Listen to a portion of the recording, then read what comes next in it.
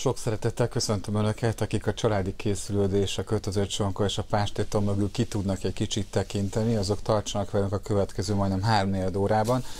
Simon Andris reakcióján vettem észre, hogy talán félérthető voltam az angyalföldi fideszesek lelkiállapota szempontjából. Én arra utaltam, hogy az elmúlt négy választáson nem sok babér termett a nem szocialista indulónak, és ez nyilvánvalóan nem tette őket kiegyensúlyozottá a lelkiállapotot jellemzem ezzel, nem pedig a, hát hogy mondjam, hát nem utaltam semmiféle pártpreferenciára, vagy számomra kedvesebb pártpreferenciára. Az se jó, hogy sokat szabódik a műsorvezető, ezért gyorsan bemutatom a vendégeket. Tűtő Kata, az MSP önkormányzati képviselője, Gerő Tamás az Ügyvédekkel a Demokratikus Jogállamért Egyesület vezetőségi tagja része, részéről, elnöke. elnöke az elnök is vezetőségi tag, Igen. és Baravás Rihárd 11. kerületi önkormányzati képviselő, ugye? Így van. És velük fogjuk például azt megbeszélni, amit önöktől is kérdeztünk, mert hogy Orbán Viktor ma reggel rádió interjút adott, tegnap adta, csak ma vetítették le, vagy hogy mondják, volt adásban, és azt mondta Orbán Viktor az interjúban, hogy név szerint ismerik azt a 2000 embert, már akikről korábban beszélt, akik soros zsoldosai szerinte, és akik bevándorló országá akarják tenni Magyarországot. Orbán Viktor a híveit akarja hergelni, mondta 83 százalék erre, arra a kérdésre, hogy erről a kijelentésről mit is gondol valójában.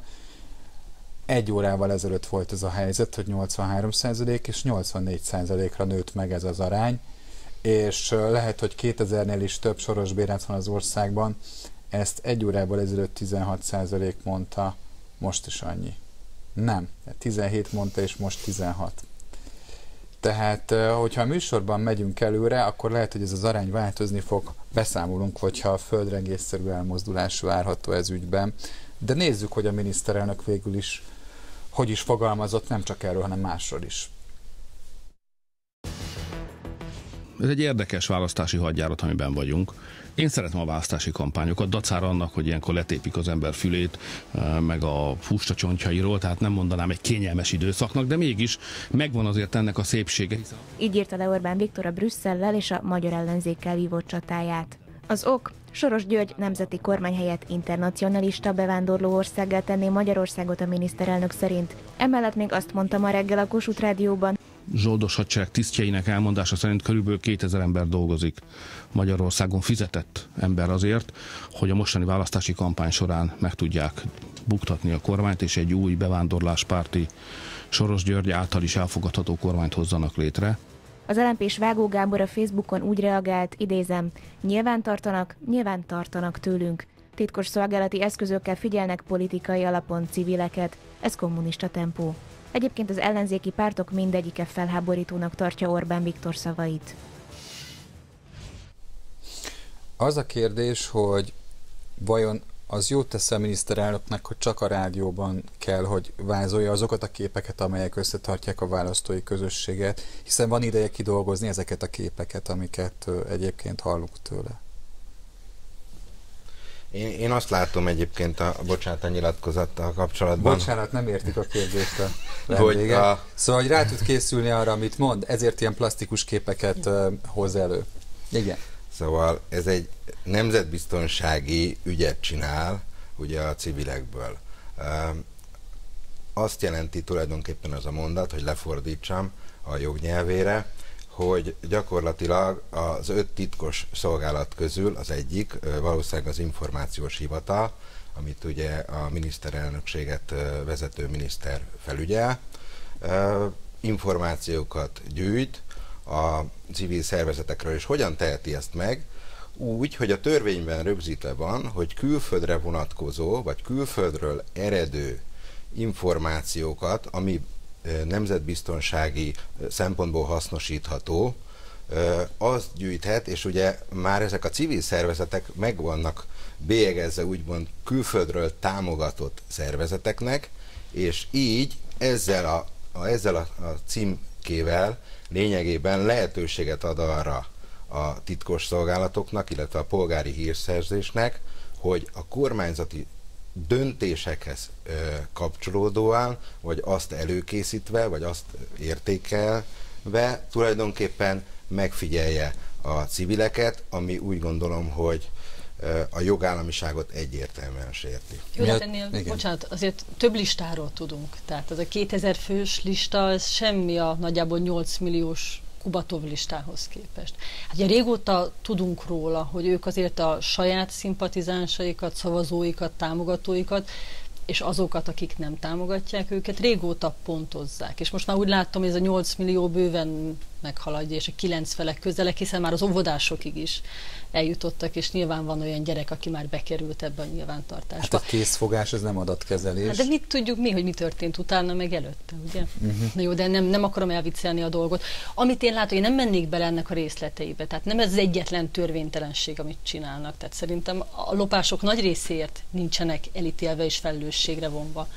Tehát egész háborús retorika, az a kép, amiről beszéltünk, ugye, amit megfestettek, az arról szól, kellett egy nagyon nagy lepel, ami elfedi a helikoptereket, a villákat, a lelőtt háziállat rénszarvasokat, a stróman édesanyákat. Tehát egy olyan lepel kell, ami ez alá ez a sok minden befér. És ez az a háború, ami egy fiktív háború. És a háborúban vannak katonák.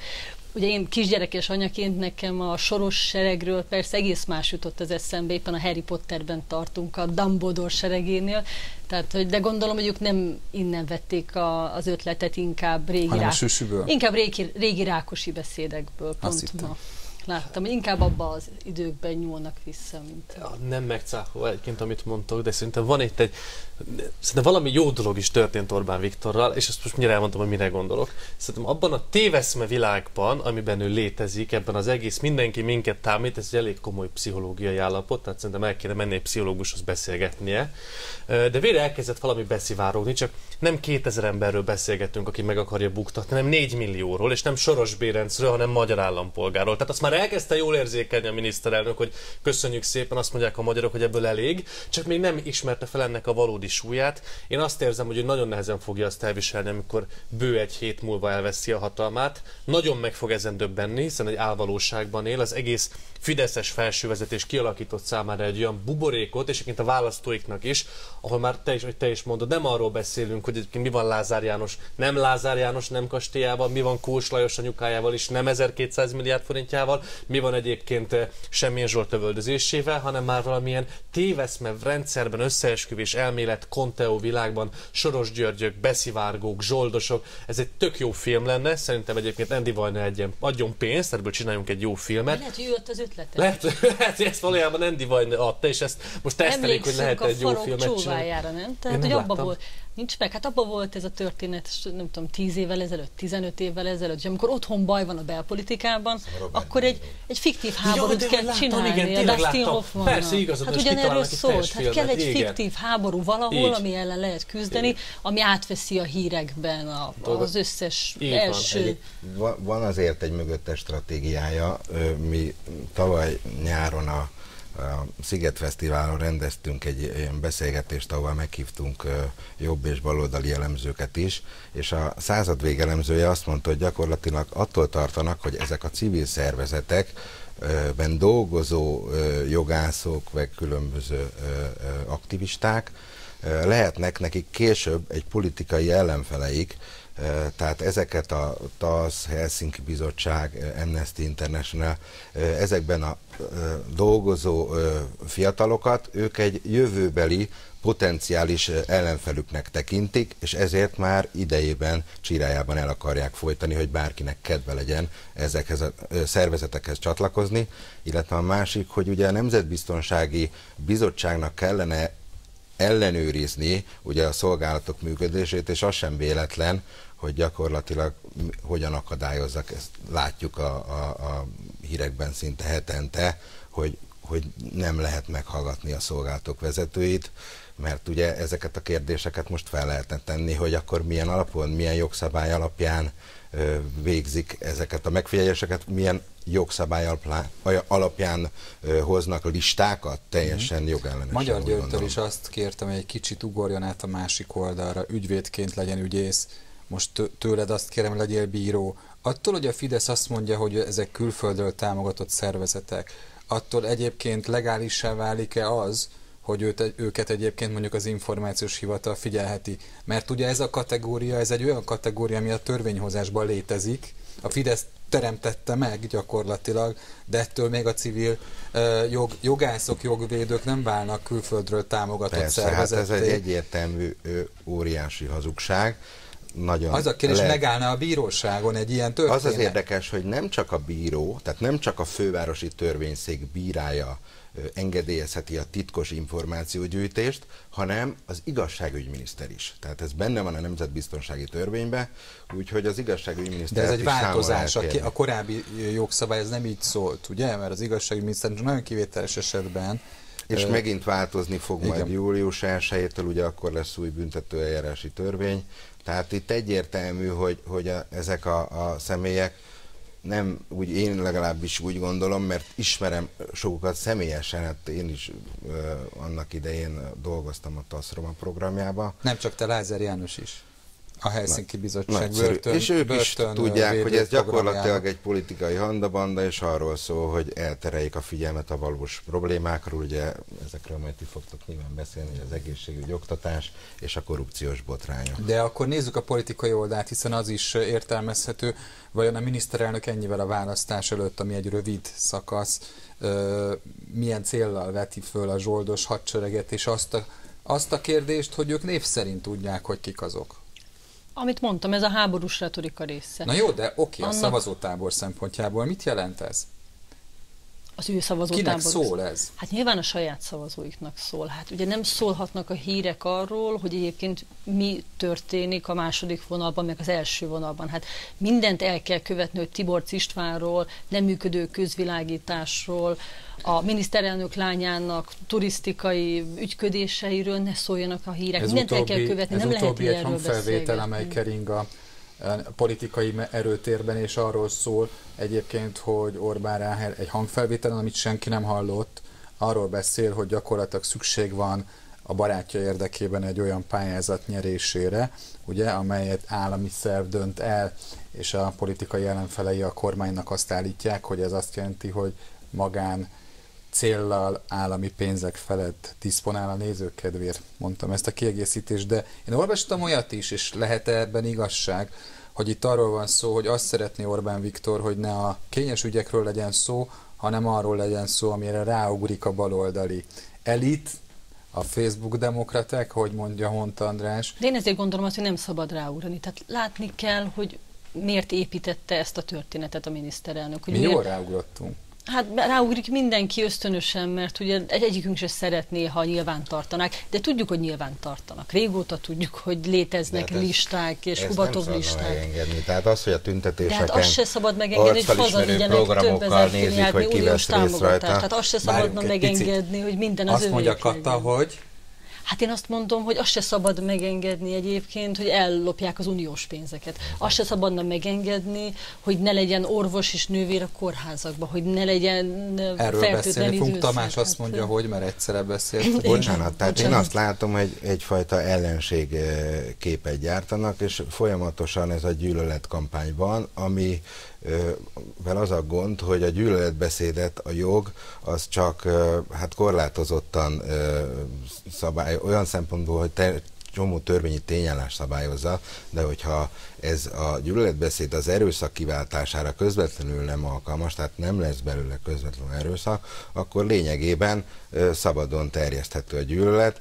Természetesen vannak személyiségi jogai hát erről már múltkor is beszéltünk, nem csak a, a Sorosnak, hanem az ellenzéki pártok vezetőjének, vagy a politikusoknak, hát ezeket nem tartják tiszteletben. Ezt én azt gondolom, hogy ez elsősorban a saját szavazótáborhoz szól, hogy féljetek, illetve ne féljetek, mert mi megvédünk titeket, de ha ők jönnek, akkor ők nem fognak. Ugye azt lehetett érezni nagyjából egy másfél hete vagy kettő, hogy a sorosozásnak a kormány holdudvarában is vannak ellenzői, akár még legmagasabb szintű kormányzati tényezők is talán kételyeket fogalmaztak meg, de senki ne tévedjen. Angyalföldön ott volt a sorosozás. Az Index riportot között német Szilárd Angyalföldön tartott fórumáról, amely a baloldal legerősebbnek és a Fidesz leggyengébbnek számító terepe. A Fidesz alelnöke arról beszélt, hogy minden elveszik, ha a migránsok jönnek, ezért nem szabad az ellenzékre szavazni. A hallgatóság azonban arról érdeklődött, hogy miért nem lehet keményebben bánni az ellenzékkel és a civilekkel. Egy felszólaló arra volt kíváncsi, hogy megtörténik-e, idézem, a hazáruló politikus férgek felelősségre vonása, ha nyerünk.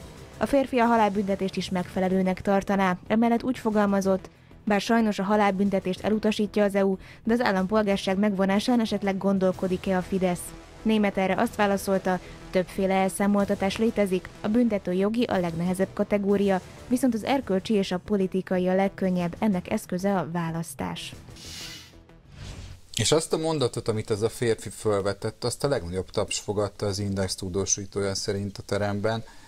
Minek köszönhető ez? Ez helyi specialitás, vagy ez általánosan jellemző? Ugye ez a kérdés.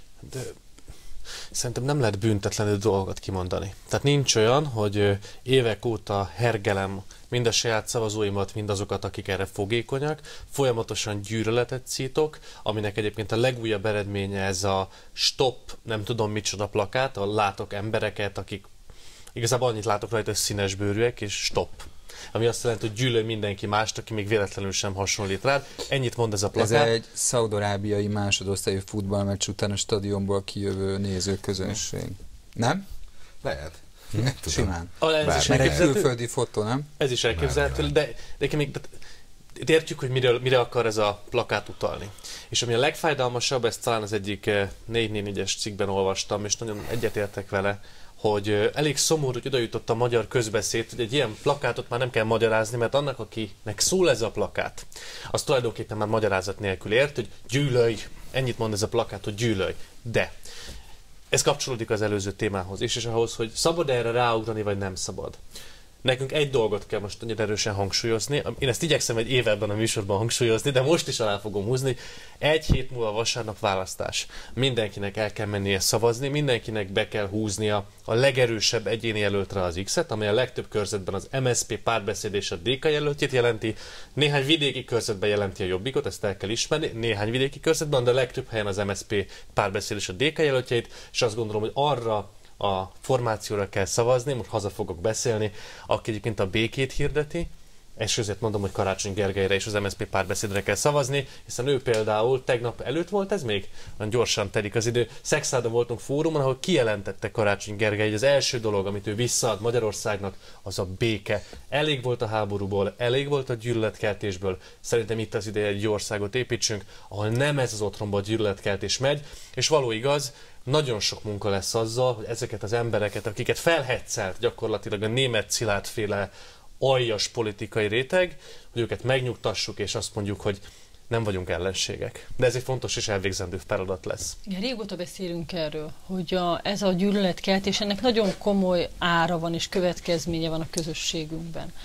Mert hogy ugye én értem, amit zajlik egy ilyen fórumon. Ugye van egy, van egy kör, nyilván aki elmegy egy ilyen fórumra, ez egy nagyon szűk kör, egy aktív fogyasztó kör, aki a, nagyjából a habony médián nő föl, abban él, abban a buborékban, ahol súlykolják neki minden nap, hogy a gyerekeit, az unokáit, a feleségét meg fogják erőszakolni, hogy nem lesz oktatás, nem lesz egészségügy, minden lakásba betelepítenek valakit. Tehát a hazugság jön éjjel-nappal minden csatornán, amit fogyasztanak. És nyilván egy félelem kialakul, és nyilván nagyon komoly indulat kialakul, és ennek a következménye, ezek a mondatok, meg azok a kommentek, amiket olvasunk egyébként ilyen közösségi média oldalon, amit mi látunk, ugye ez nem annak a felelőssége valójában, annak a felszólalónak, hanem aki őket felhergelte. Tehát annak a közösségnek, a miniszterelnöknek, a habonynak és a többieknek, akik azt gondolták, hogy a hatalom megtartásának az az eszköze, hogy gyűlöletet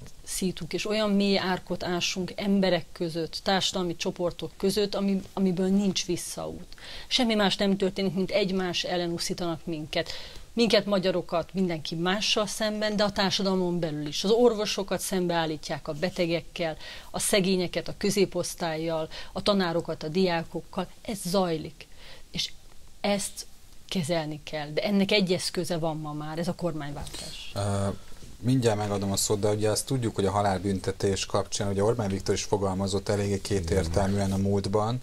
Politikailag ez... mindig bedobják ugye Igen. ezt a... De ez, ez nem mozdult el, tehát azért kormányzati támogatást ez nem élvezett ez a gondolat. Nem is lehet, ugye az Európai Unióban tilos a halálbüntetés. Szerintem a rendszerváltásnak az egyik nagy vívmánya volt, hogy eltörölték. Ebből is látszik, hogy én halálbüntetés ellenes vagyok. De 8 hát, per 90-es alkotmánybírósági határozat, a jog, jog történet egyik égköve én mondom, Élethez való jog, ugye senkitől nem lehet önkényesen elvenni a, a, a életét, illetve az élethez jog. Szóval ez egy olyan fundamentum, ami, ami azt gondolom, hogy, hogy tényleg a, a jogállamiságnak egy alapja. Persze tudjuk, hogy Amerikában például van halálbüntetés, de Magyarország az európai jogrendhez tartozik, és egyetemen persze erről ez egy jó példa, hogy érvek ellenérvek, de, de inkább nekem ez a féreg ütötte meg a fülemet, és itt az, az előbb már említettem, hogy senkit nem lehet emberi mi voltában megalázni, és ilyen kifejezésekkel illetni, ez konkrétan bűncselekmény. Tehát aki a másikat féregnek nevezi, az elköveti a becsületsértésnek a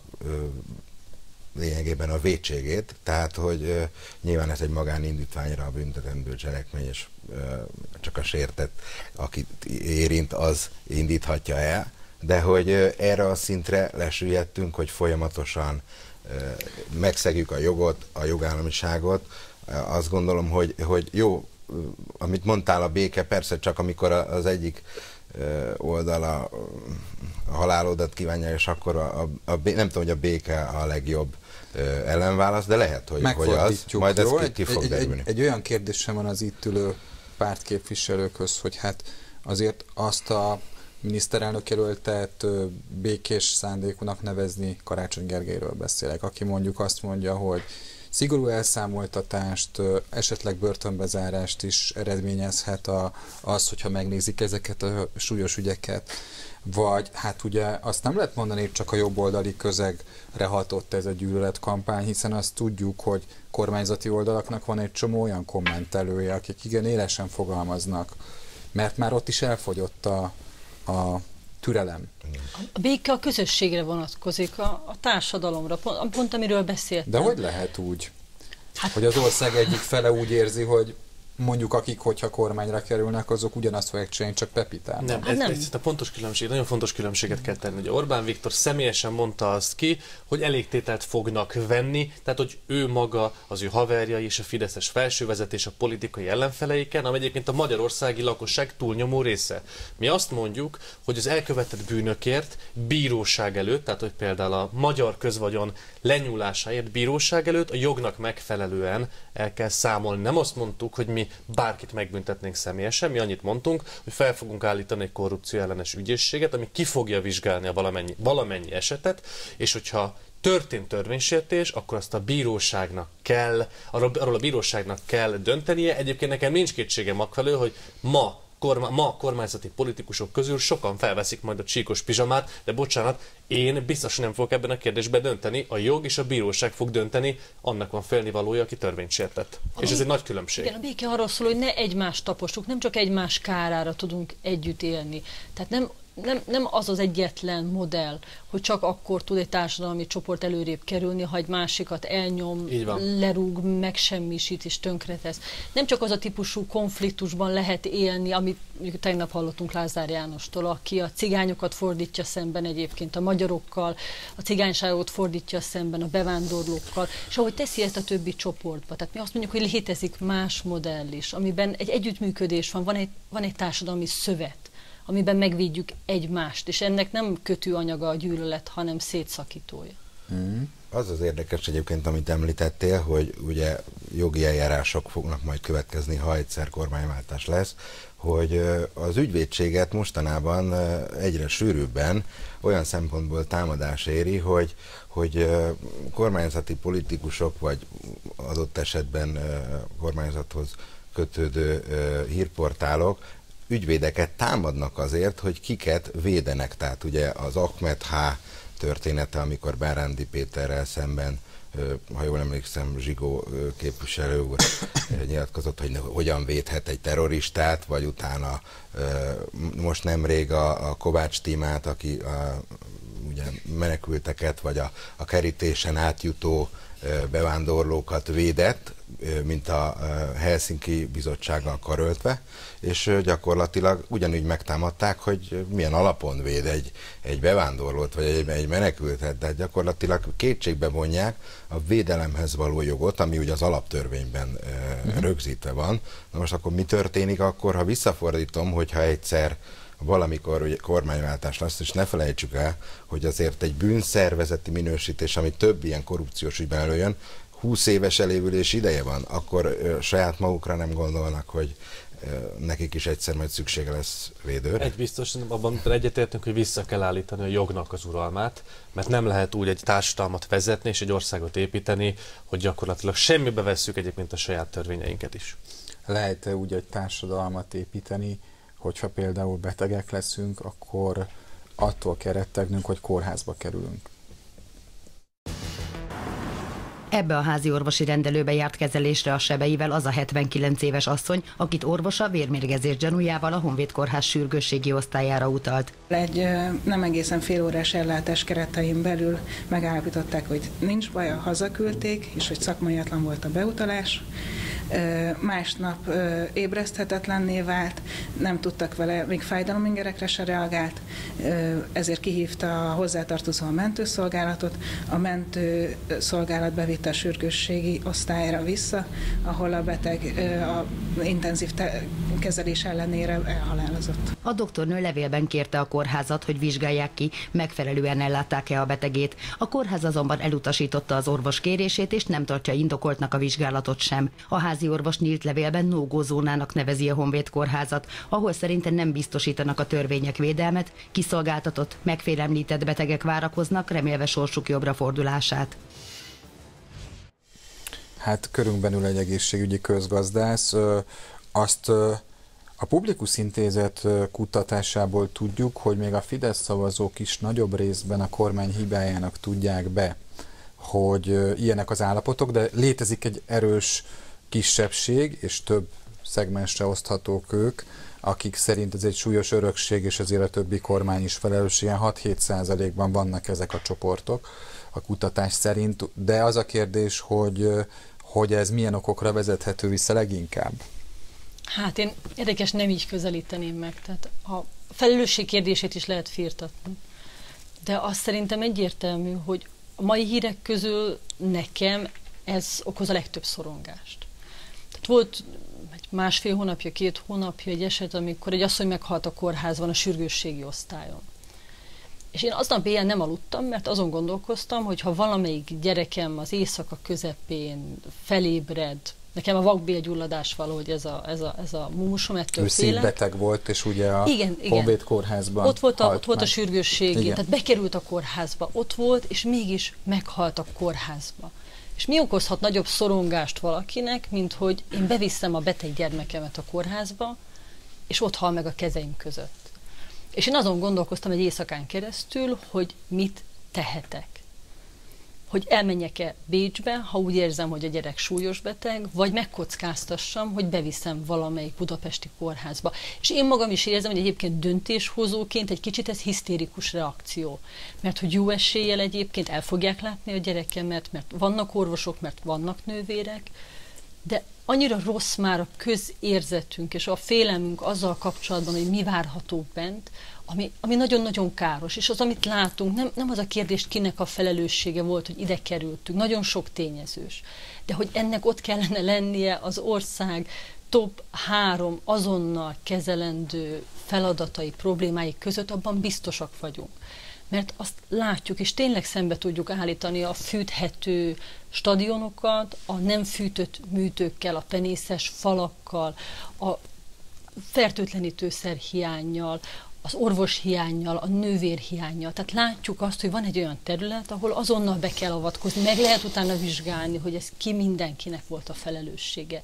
De hogy ide sürgősen nagy figyelmet, szakértelmet és forrást kell csoportosítani, ebben mindannyian biztosak vagyunk, és van egy másik része is, hogy a bizalmat is helyre kell állítani. Mert hogy pont emiatt az én hisztérikus reakcióm is nem egyedi, hogy nincs meg már az a bizalom, hogyha beviszem az édesanyámat, vagy az édesapámat, vagy a gyermekemet, akkor ő túl fogja élni. És ilyen típusú félelemben élni a legrosszabb dolog, amit el tudok képzelni. Tehát ezt a típusú bizalmat, és én nem az orvosokat hibáztatom, nem a nővéreket hibáztatom, de amikor megkérdezzünk egy kutatás keretében a közösségünk tagjait, akkor mindenki a másikra haragszik. Az orvosok a betegre haragszanak, amiért bemennek nem fontos problémával, szerintük nem fontos problémával, ugyanúgy a nővérek is, a betegek meg haragszanak az ott dolgozókra, mert úgy érzik, hogy az ő problémáikat nem veszik figyelembe. Ugyanígy haragszanak a szülők a tanárokra, és vice versa. Tehát ezek azok a folyamatok, amiket újra kéne gondolni, érdemben figyelmet ide fordítani. Nyilván itt ez egy rendszer szintű probléma, amiről beszélünk. Tehát az, hogy egyébként hogy fordulhat elő az, hogy annyira le van már terhelve mondjuk a házi orvosi ellátás, és annyira nincs foglalkozva a háziorvosi utánpótlás kérdésével, hogy egyszerűbb elküldeni rögtön a betegeket mondjuk a szakrendelésre, ami leterheli a szakrendelés pedig hát ugye a háziorvosi ellátás fejlesztésével lehetne preventív kezeléseket alkalmazni nagyon sok esetben, és akkor lenne idő a sürgősségi ellátásban, de ez csak egy példa. Ugyanígy a leterhelt orvosok, akik elképesztően sokat dolgoznak, nem biztos, hogy eléggé figyelmesek, vagy eléggé és mondjam, eléggé törődők tudnak lenni azokkal a betegekkel, akik meg természetesen meg vannak ijedve, hiszen ha az ember beteg, akkor megijed. Tehát itt egyszerre kéne gyakorlatilag az egész rendszert kiemelni a bajból, ezért, ezért is van az MSZP párbeszéd programjának egyébként kiemelt helyén az egészségügyi rendbetétele. Ez olyan, amivel gyakorlatilag nem, hogy április, tehát április 8-án meg lesz a választás, akkor április 9-én reggel 8 órakor, amikor el kell kezdeni dolgozni, ez lesz az első feladat, szerintem az egyik legelső feladat, aminek neki kell esni, és neki kell állni, hogy rendbe szedjük. Azt gondoljuk, hogy éppen ezért is van szükség a kormányváltásra minél előbb. Tehát, hogyha azt akarjuk, hogy legyen jobb az egészségügy, és ne, az, és ne csak hisz, nem a hisztériáról beszélünk csak, hogy már ilyen a közhangulat, hanem hogy egy ilyen hír se lehessen, hogy valakit nem láttak el, és ezért meghalt, akkor kormányváltásra van szükség április 8-án óriási a forrás hiány. Én, én legalábbis úgy tudom, nekem dolgozik barátom a, a Honvéd kórházban. Tehát egyszerűen nem bírják. Túl sok a beteg, fizikai képtelenség ellátni ezt a betegmennyiséget, és ugye a házi orvosok is, amikor akár egy ultrahangra elküldik a beteget, hát több hét várakozási idő van. Tehát mit tanácsolnak? Akkor menjenek be a sürgősségre. És hogy a sürgősségén kivárható az az idő, hát természetesen nem a protokoll szerint, ugye van ez a triás, hogy, hogy öt részből áll, azonnali, vagy 15, 30, 60, vagy 120 percen belül el kell látni, és gyakorlatilag... A legfrissebb ügy az a 18 órás várakozás, ugye? Az én nagymamám is most több mint 8 órát várt, neki. Az volt a szerencséje, hogy fél órán belül vettek vért, és utána hiába iszonyú fájdalmai voltak, de túlélte, hogy ott várt 8 órát bélcsavarodással az egyik kórházba. De a másik oldalon is tavaly nyáron elhunyt egy orvos ügyfelem, aki gyakorlatilag szünet nélkül ügyelt egész héten, nem volt pihenőnapja szinte, és elaludt a bolánnál. Úgyhogy frontálisan karambolozott valakivel. Tehát olyan szinten ez a forráshiány tönkreteszi az egészségügyet, hogy csoda, hogy csak ennyi ügy van. Egyébként azt ja, mondja, sokkal több ügy is lehet. Február 12-én azt mondja Rétvári Bence, hogy az elmúlt években felére csökkent az országból elvándorló orvosok száma, mert míg 2011-ben több mint 800 orvos kért külföldi engedélyt munkavállalásra, 2016-ban már csak 400 körül volt ennek a száma, és hogy 10%-kal nőtt a Magyarországon a dolgozó orvosok száma, 8 éve kevesebb, mint 34 ezer vállalat munkát, most arra megközelített a 38 ezeret, tehát van egy ilyen kormányzati megnyugvás a dologban, hogy ez így, akkor rendben van ez a tendencia. Ugye azt a statisztikát hisszük el, amit mi magunk készítünk. Én sok év statisztika tanulás után ez volt a rezüméje. Hát láttuk, hogy a kormány hogy manipulálja ezeket a számokat, akár a szegénységi adatokat, akár a munkanélküliségi adatokat. Tehát és hát, én azért mégiscsak inkább azt hiszem el, amit tapasztalok személyesen. És hát nem tudjuk, hogy egyébként ezek a számok mire vonatkoznak egyébként az állami kórházak, vagy egyébként a magárendelésekre, hiszen pont azt látjuk, hogy a Fidesz arra hajt, hogy ketté szakítsa az egészségügyi ellátást, jól fizető, üzleti szempontból kifizetődő magánellátásra, va mehetnek a gazdagok, és egyébként szét lehet osztani a piacot, le lehet belőle nyúlni, és az egyébként egyre lerohadó állami egészségügyi ellátásra, ahol meg a szegények, hát sőt most már nem is csak a szegények, hanem lassan a középosztály is azért megy be, hogy elkapjon valami kórházi fertőzést, és pont ezt kell megakadályozni. Tehát lehet, hogy ezek a számok, az is elképzelhető, hogy ezek a számok valósak, na de mi a valódi háttére mögött, mert ha ez azt támasztja le, hogy a Fidesz ketté szakította az egészségügyet, az pont azt igazolja, hogy mekkora kárt okozott az Orbáni pusztítás az elmúlt nyolc évben. Igen, azt szoktam mondani, hogy a Fidesz ott hagyott a felső középosztálynál egy jelentős jövedelem többletet adókedvezmény formájában. De mi történik ezzel a többletjövedelemmel? Elköltik magánegészségügyre, meg magániskolákra. És igazából eredményében nem, hogy jobban élnek, hanem rosszabbul. Igen.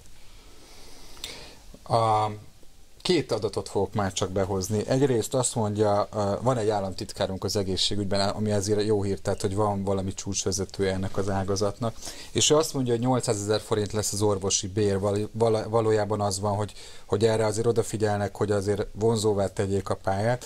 Másrészt egy nemzetgazdasági államtitkár, Banai Péter Benő azt mondja, hogy 238 milliárd forinttal több jut egészségügyre, mint az előző évben közgazdászként ezek az adatok arról szólnak, hogy a kormány megpróbál újra rárenni ezen a dolgon?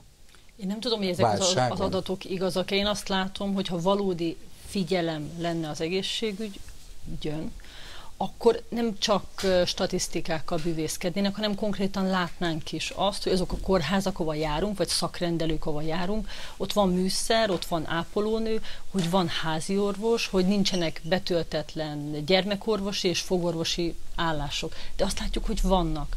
Tehát a számok a valósággal nem találkoznak. Ezért Igen. önmagában a számok nem megnyugtatóak. Akkor nézzük az utolsó témánkat, hiszen a választási finisben az is érdekes, hogy hogy állnak az eljárási számok, pontosan ki hol szavaz, hányan próbálkoznak, stb. Nézzük. A 2200 egyéni jelölt közül eddig 50-en léptek vissza a szavazólapon, 23 párt neve szerepel majd. Budapest néhány választókerületében csak 6-7 jelölt van. A legtöbb az továbbra is Nógrádban Salgó-Tarjáni választókerület, ahol 33 jelölt van, ennyi szerepel a szavazólapon. Április 8-án a Nemzeti Választási Irodának, ahogy Pál Firona mondta, mentőcsónakja is lesz, de a telefonos adat továbbításra csak vészhelyzetben lenne szükség, ha a számítógépes hálózat valamiért csődöt mondana. A számítógépes rendszer egyébként minden külső beavatkozási kísérletet azonnal jelez. A választások előzetes végeredménye április 14-én várható. A választás jogi szervei addig akkora garanciát jelentettek a demokrácia működésére, hogy mindannyian megnyugvásra figyeljük ezeket a híreket. Vendégeimtől azt kérdezem, hogy ennyi, ennyi pártnak a választása, vagy az, annak az esélye, hogy ennyi pártot lehet megszavazni, ez segíti a rendszert? Hát semmiképpen nem. Én megnéztem a választás.hu. Igen. 40 40 országos listát állító párt van rajta, egy csomónak még logója sincs. Én a múltkori adásban felvetettem, hogy nem ártana, hogyha nem készpénzzel segítenénk ezeket a pártokat a kampány során, hanem természetben, vagy legalábbis egy államkincstár által kibocsátott kártyával, hogy, hogy ne az legyen a cél, hogy, hogy a, a támogatást lenyúlják, mert utána adók módjára ugyan behajtható, ha nem érik el az egy százalékot, de nem, Ez egy friss törvényi nem, változás? Nem igazán, nem igazán sikerült, ugye, vagy nem tudom, hogy mennyire sik, fog sikerülni behajtani ezt a pénzt. Ahogy eddig próbálták. Kell. Az egyéni jelöltek szintjén nem is kell. Tehát ugye azt kell megérteni, hogy létrehozott a kormánypárt egy olyan helyzetet, ahol érdekelté tett embereket arra, hogy elinduljanak a választásokon azért, hogy megszerezhessék az egyéni jelöltnek járó 1 millió forint támogatást, amivel gyakorlatilag úgy számolnak el, ahogy akarnak. És láttuk, hogy mi lett, tehát meg lehet vásárolni, gyakorlatilag szervezetten működik ez, tehát összeállnak erre szervezetek, vagy állítanak országos listát, vagy nem, de nem feltétlenül kell állítani hiszen valaki egyéni jelöltként elindulhat egy körzetben, akkor is jogosult támogatásra. Ezt a pénzt megkapja, aztán utólag vagy elszámol vele, vagy sem azt látjuk, hogy ez egyébként nem a demokrácia elősegítése, nem tette átláthatóbbá a választási rendszert, nem tette átláthatóbbá a finanszírozás sem. Tehát az volt mögötte az érv, ha jól emlékszem, hogy legyen átláthatóbb a kampányfinanszírozás. De semmiképpen nem lett az, hiszen továbbra is azt látjuk, hogy vannak olyan jelöltek, akik elköltenek mondjuk egy polgármester választáson. Én összeszámoltam a második kerületben nagyjából csak a BKV járművein a polgármester jelölt a mostani polgármester Láng Zsoltnak nagyjából a költéseit, és egy 20 millió forintnál hagytam abba. És azon gondolkoztam, hogy vajon mit, milyen pénzt kell ahhoz keresnie, hogy ez a befektetés megtérüljön négy-öt év alatt, nem lett ettől átlátható, viszont sokakat motivál arra, hogy elinduljanak és visszaéljenek ezzel. Hát itt nagyon fontos, és ezt szerintem érdemes elmondani a nézőknek, bár ők általában, tehát azt látjuk, hogy a választópolgárok általában pontosan tudják, hogy ki az, aki valódi munkát végzett, aki igazi politikai erő, és ki az, aki egyébként nyilvánvalóan csak kamuból a pénzért és az állami támogatás felmarkolásáért indult el a választáson. Ennek ellenére én mégis most így külön kihangsúlyoznám, hogy olyan jelöltre szavazzanak, akit jól ismernek, akit már láttak, akit akit olyan erők támogatnak, akik ismertek, például, mint az MSZP Párbeszéd Szövetség, mert akkor lehet elzavarni Orbán Viktorékat, nagyon fontos, és ugyanígy a pártlistán is keressék azokat a, az erőket, akik egyébként eddig is őket képviselték, és ezután is őket szeretnék. Én, én csak annyit a kiegyensúlyozottság jegyében, de nem akarok a, a kisebb pártok fogadatlan prókátora lenni, hogy én úgy gondolom, hogy ha sokan elmennek szavazni, például holnap 16 óráig még a külföldi külképviseleteken is be lehet jelentkezni, hogy szavazhassanak. Ha sokan elmennek, akkor igenis a, úgymond a kisebb pártoknak, tehát az LMP-nek, a Momentumnak vagy az Együttnek is lehet esélye, hogy bejusson. De én is azt mondom, hogy a egyénibe a, a legerősebb ellenzékjelöltre, és pártra pedig az esélyesre. Nyilván mindenki arra szavaz, amire szeretne. Én csak azt mondom, hogy szerintem jó lenne, hogyha a Karácsony Gergely vezette MSZP párbeszédlistára szavaznának. Én azért annyit hozzátennék, azt látni kell, ritkán beszélünk arról, hogy a, a Fidesznek volt egy másik komoly húzása, ami a, körzet átrajzolásnál erősebb. Ez a győztes preferencia voksok, amikről ritkán beszélünk. Ez azt jelenti, hogy egy olyan körzetben, ahol a Fidesz mandátumot szerez, hogy nem csak a mandátumot kapja meg, hanem megkapja azt a listás szavazat tömeget is, ami az első és a második helyzet közti különbség. Ez azért több százezer szavazat, amit így magának egy törvénymódosítással a Fidesz a listájára szerzett. Ezt kompenzálni azért leginkább csak úgy lehet, ha olyan pártokra szavazunk, akik bejutnak a parlamentbe. Mert azoknak a leadott szavazat ugyan állami támogatásban megjelenik az adott pártnál, de a választási eredményt nem befolyásolja, ha olyan pártra szavazunk, aki nem ért el az 5%-ot. Ezt érdemes megfontolni mindenki. Nagyon köszönöm, hogy itt voltatok, és hogy mindezt e, e, megbeszélhettük. Hát nyilván azt, azt kell, hogy mondjuk az ellenzéki pártoknak, hogy tetszett volna forradalmat csinálni, amikor ezt a választási törvényt átterültette a Fidesz, de csak vicceltünk, mert Emilia itt van a stúdióban. Ugye? Így van, szia, köszöntöm a e, nézőket. Egontól azt kérdeztem tegnap, hány fideszes politikus jön be hozzád? Hány nagy Na, pénteken? Tippelj egyet. Öt? Kicsit kevesebb. Akkor nem tudom. Nulla. De én már nagyon várom, hogy kampány után újra visszatérjenek. Egyébként pont erről beszélgettünk a szerkesztővel, hogy, hogy tényleg nagyon várjuk, de hát nyilván kampányban meg kell fontolni minden mondatot. Viszont cserébe az adás elején nagyon nagy lesz a kormányfőjelölt sűrűség itt a stúdióban, mert hogy egymást váltja majd Szél Bernadett, illetve Karácsony Gergely. Szél Bernadett egyébként abban a témában az Alkotmányvédelmi Hivatalhoz fordult, amiről ti is beszéltetek a naphírében, erről a bizonyos Orbán Viktori nyilatkozatról van szó, hogy nyilván tartják a kormányt buktatni akarókat, és megkérdezte Szél Bernadett, hogy ő vajon hanyadik lehet ezen a 2000 főt számláló listán. Egyébként ebben az ügyben majd Ligeti Miklóst is hívjuk telefonon, mert hát itt súlyos jogi kétségek merülnek föl, hogy egy ilyen lista egyáltalán létezhet-e. De egyébként Szél Bernadettet majd arról is kérdezem, hogy az ATV főmunkatársának adott egy interjút, amiben arról beszélt, hogy ő nem lenne tagja sem Karácsony Gergely, Gergely, sem Vona Gábor, sem Márki Zaj Péter, sem Orbán Viktor kormányának. Egyedül a szérkormánynak lenne ő tagja. Karácsony Gergelyt pedig majd arról fogadom, hogy mit szól ahhoz, hogy beszállt a választási kampányba a testvére is, mert ugye Karácsony László az Eko TV-nek adott egy interjút, amiben nem teljesen érti, hogy Karácsony Gergely mit keres a szocialisták környezetében. Aztán majd érkezik többek között Magyar György és Vágó Gábor is, mert hogy megbeszéljük azt a botrányt, ami Zuglóban szintén az LMP-vel kapcsolatos, hogy a fideszesek is gyűjtöttek nekik aláírást, és ellenzéki rossz nyelvek szerint ez nem egyedüli helyzet volt itt ebben a választókörzetben, hanem országosan is előfordult. Az adás végén pedig Kéri László is érkezik, mert ugye 30. születésnapját ünnepelte a Fidesz. Megnézzük ezt a tablót, és majd megkérdezem tőle, hogy a 30 évvel korábbi Orbán Viktor vajon elhitte volna, hogy 30 évvel később mondjuk ilyen fenyegető mondatokat ma mond, mint ma az állami rádióban, ez tehát a kínálat ma estére. Köszönöm szépen, nézenek minket, és kellemes húsvétot kívánunk a nap híre nevében. Holnap a fórumban találkozunk, viszlát!